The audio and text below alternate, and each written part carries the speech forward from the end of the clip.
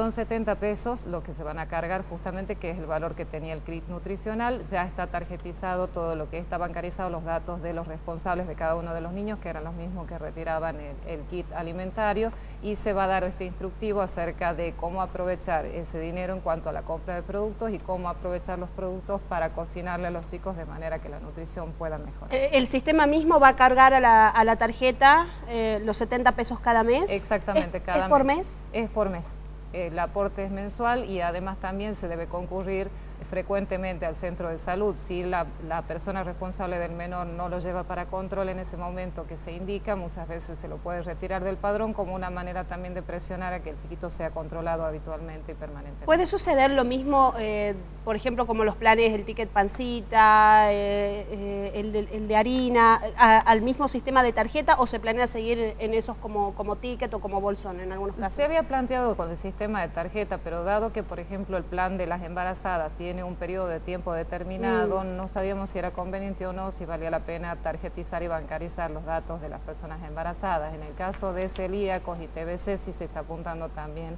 a que tenga el mismo sistema.